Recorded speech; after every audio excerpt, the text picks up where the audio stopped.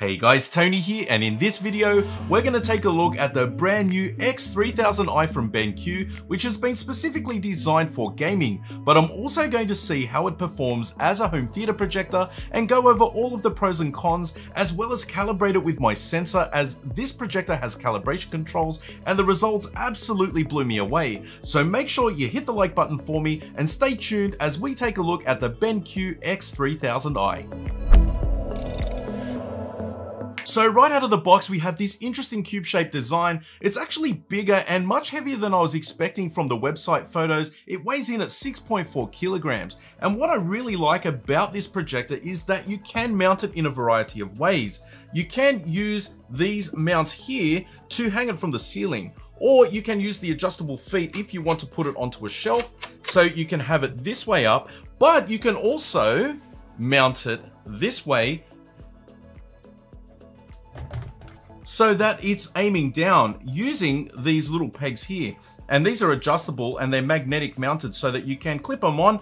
And the reason that you might want to have it this way round is that this projector has a 110 degree viewing angle. So depending on the height of your shelf, you might need to either angle it forward or tilt it upwards so that it reaches the screen properly. Now I did have to do keystone adjustments mainly because in my theater room I couldn't move things around. I have a shelf up for my dedicated projector and there is no lens shifting option either, but there are manual focus and adjustments here with a little slider, you can see you can change the focus and the zoom. And the reason that I think that they did this was to keep the cost down because this projector is only 2000 US dollars or 32.99 Australian dollars, which for what this projector can do is a very affordable price. If you want to get the best experience for gaming, BenQ would do advise not to use the keystoning options as it will affect the performance slightly. So installation requires the BenQ dongle. You can install it on the inside of the projector to hide it away so it's not sticking out at the back. You can use this projector simply as a display connected to your receiver,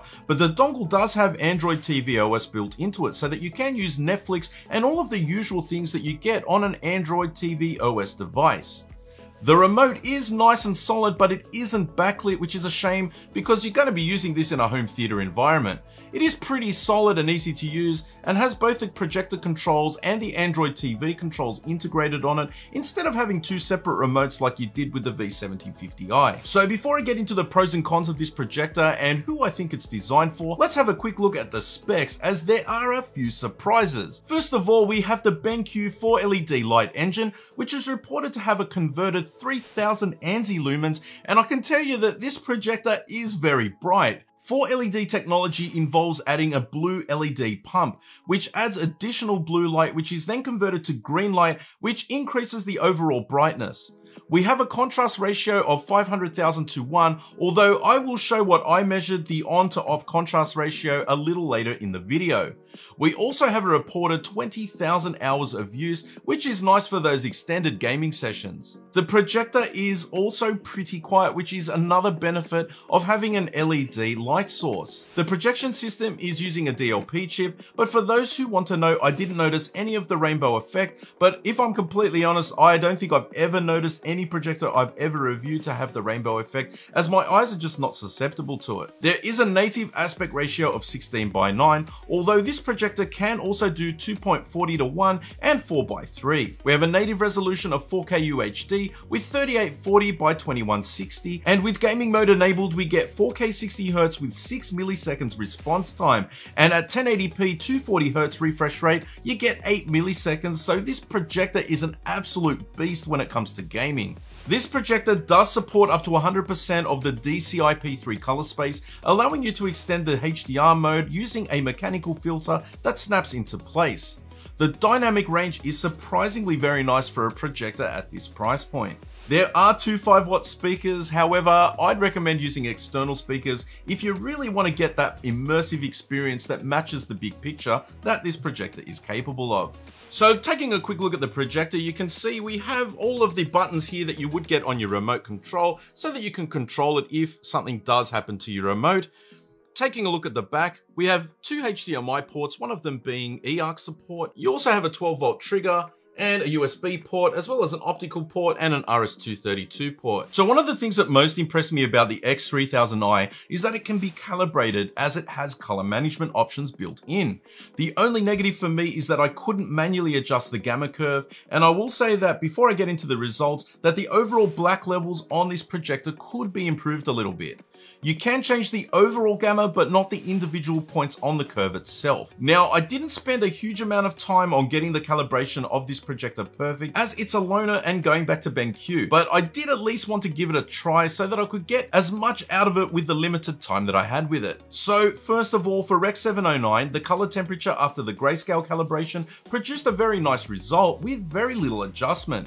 I did note that the blue was a little overtuned, which does make sense now knowing that there is an additional blue light being pumped in via the 4 LED light engine, but after adjustment it was pretty good. The same went for the color management for the primaries and the secondaries, with overall things lining up pretty well. It did take me around 4 hours to calibrate the projector and the results were very nice and the accuracy and the colors were much improved with the skin tones. A quick shout out to my friend Leo who gave me some remote assistance during the calibration. My verdict after calibration is that in HDR mode for movies, we have a beautiful bright image that does suffer a little in the blacks. However, in my light controlled room, the image looks very nice, bright and vibrant with great color accuracy achieved with this level of calibration. I especially like the vividness of the colors and how bright the image is, even though as I said the blacks are not inky black, there does appear to be a nice dynamic range and watching a movie in here is quite enjoyable. So as this projector is designed as a home theater gaming projector, let's take a look at some of the demos. I'm using my gaming PC which has an Intel i9 12900K CPU paired with an RTX 3080, so I could play most AAA titles in 4K with 60Hz. Let me know what you think down in the comments section of how these games look on the big screen.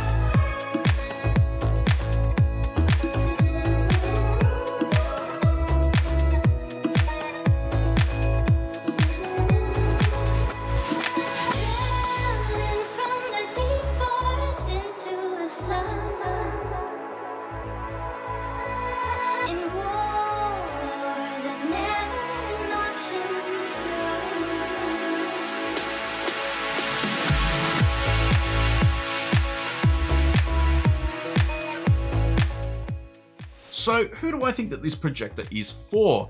Hands down, this is probably the best gaming projector that I've ever tested. There is no noticeable input lag at all, and after calibration, it just looks sensational on the big screen with the first person shooters, the car racing sims, and the third person adventure games. Most people who want to game in a home theater are also into watching movies as well, so if you like to do both, this projector is no slouch when it comes to movie performance either.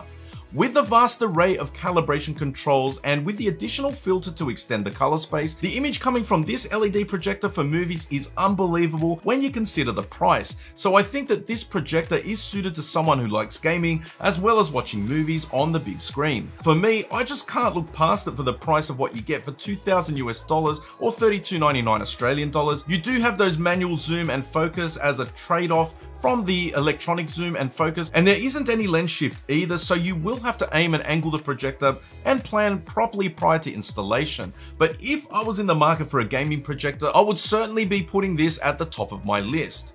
Even for watching movies, I have really enjoyed my time with this projector. However, sadly for me, it's going back to BenQ, and I would like to thank them for sending it into me for review. I very much appreciate it. I will have links down in the description to this projector, so check them out if you're interested. If you enjoyed the video and you found it helpful, make sure you smash the like button for me and consider subscribing to see my future content. Let me know what you think down in the comments section and I'll be sure to read every single comment. But That's it for this one. You'll catch me in the next one. Bye for now.